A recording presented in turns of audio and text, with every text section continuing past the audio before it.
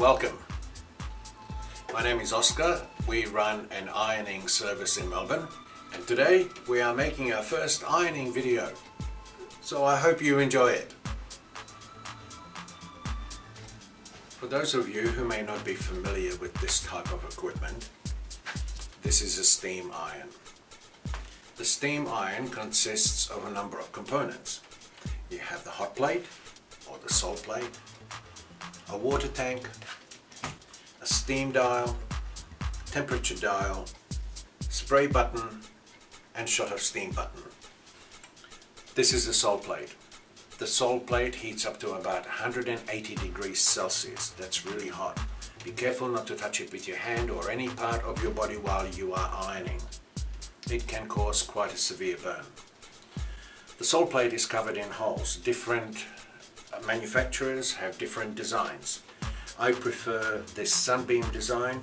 In my opinion, more holes mean a more even distribution of steam while you are ironing. Keep the water tank full, that allows all of the steam functions on your iron to work properly. Use the steam dial to set the volume of steam you want your iron to produce while you are ironing. A pre-dampened cotton fabric doesn't need any steam, so you would set it to dry. On the other hand, if you are ironing a knitted fabric, you probably want more steam. The temperature dial is connected to the thermostat and that controls how hot your iron runs. If you are not sure, check the care label of the garment you are about to iron and then set the dial accordingly. There are also two buttons. This is a spray button. It's designed to spray a little bit of water just ahead of your iron so that it's exactly where you need it as you iron. The other button is a shot of steam. The shot of steam delivers a shot of steam. And there you are, that's pretty much how an iron works. All I need to do now is find a nice shirt and show you how to use it.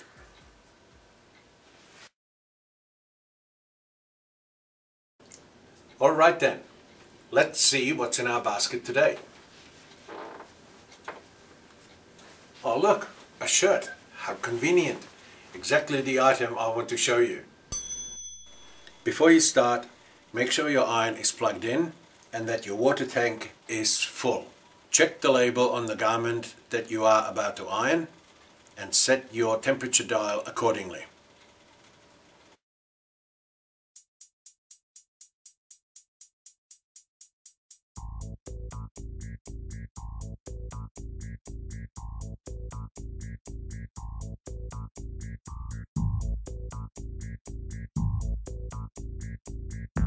Alright then.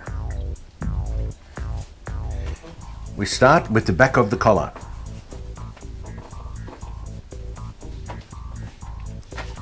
Iron from the outside in towards the center.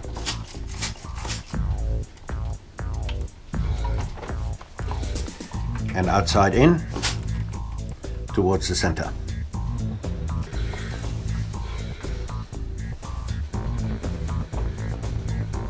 Check the front of the collar, that looks quite nice, so just touch it up lightly with a bit of steam.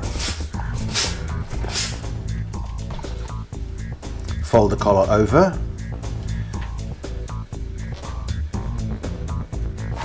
and gently steam it to give the collar a bit of definition.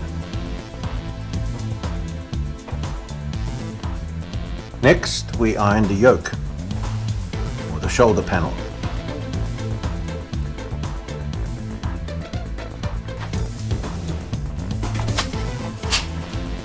You'll note I'm using my left hand to gently pull on the fabric as I iron and that helps to stretch the seams.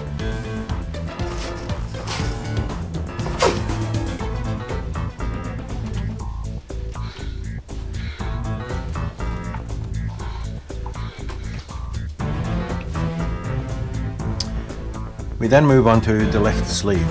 Lay the sleeve down on your ironing table as flat as you can and we start with the cuffs.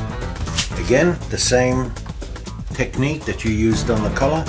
Iron from the outside in and from the outside in. Turn the cuff over and just flatten it nicely.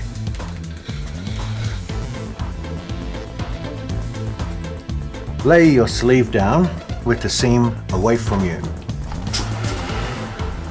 Again, you can see where I, that I'm employing the same method of gently pulling onto the fabric, especially when you are doing two layers of material. This way you ensure that the bottom part, that the bottom material gets pushed along with the iron without putting any creases in it. Just touch up that seam and all the way up to the very edge. The crease should start at the edge but should not go over onto your shoulder panel. Same thing at the bottom of the cuff, be accurate. You don't want to iron over the cuff because it needs to be flat and round. Little bit of steam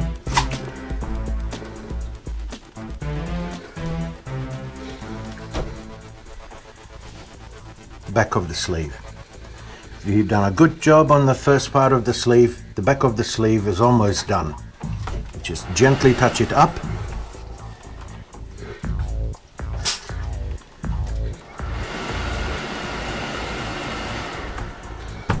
Making sure that your crease is absolutely flat and sharp and that there's only one there.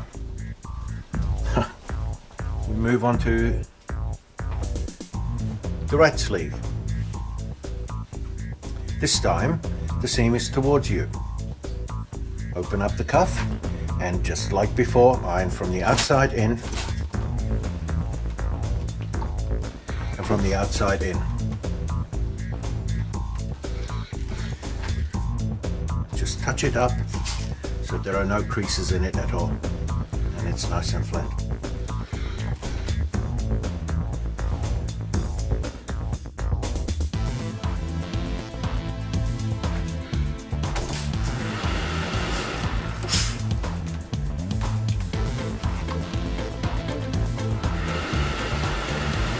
Accuracy is important. Again, I'm holding the cuff with my finger in between so that I can pull on both of the fabrics, the bottom layer and the top layer at the same time. You need to be accurate here, as you can see right there. You don't want to iron over the cuff itself because the cuff needs to stay flat and round.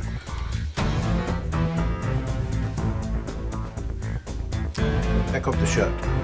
Uh, sorry, back of the sleeve. Now the sleeve is already looking pretty good.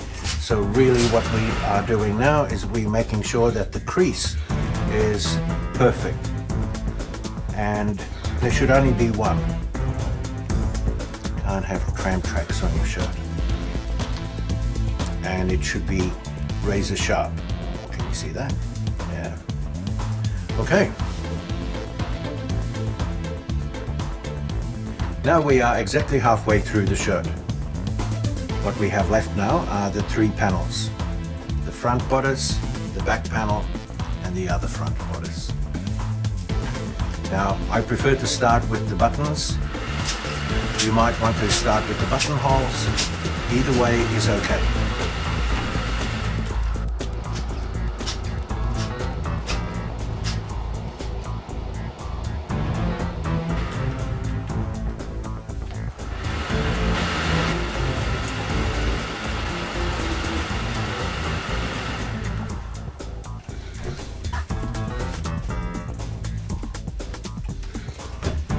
We are concerned about the seam and we want to get the seam nice and flat.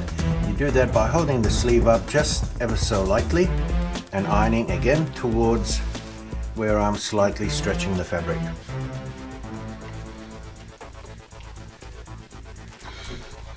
Moving on to the back panel. Bring the panel up so that your seam is close to the edge of the ironing board and your sleeve is hanging over the side. This way you make sure that you don't recrease the sleeve that you just ironed perfectly a little bit earlier.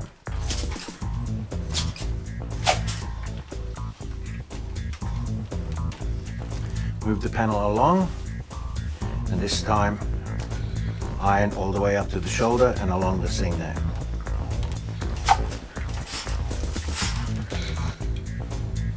Along.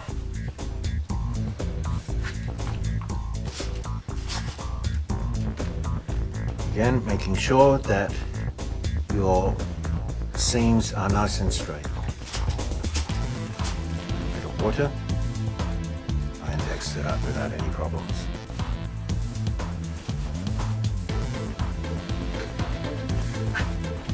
Again, you'll see now there's a label here with a button on it.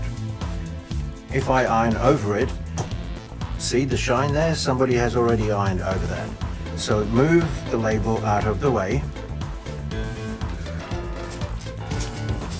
And that way you can get a nice and perfect flat finish.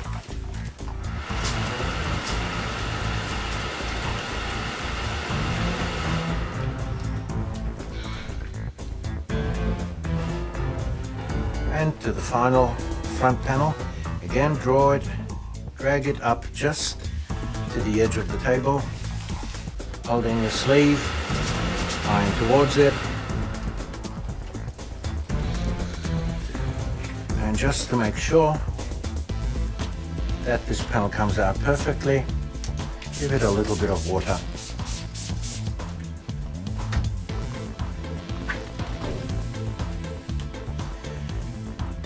Shoulder seam and down the panel. Oops, just put in a crease. A little bit of water and it's gone. Magic. And all we have now, the front lacquer.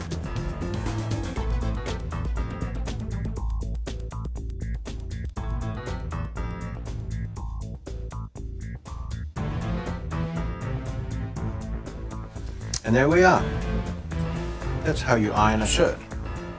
All you need to do now is either put on a freshly ironed shirt or get a hanger, hang it up and put it into your wardrobe. Thank you very much. I hope you've enjoyed that.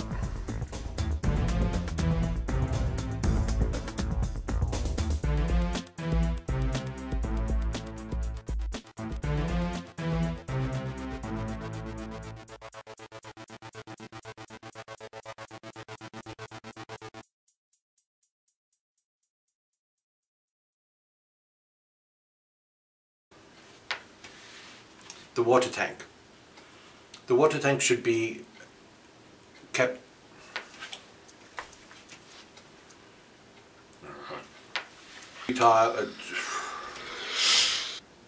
if or whether you're whether the, the that one more time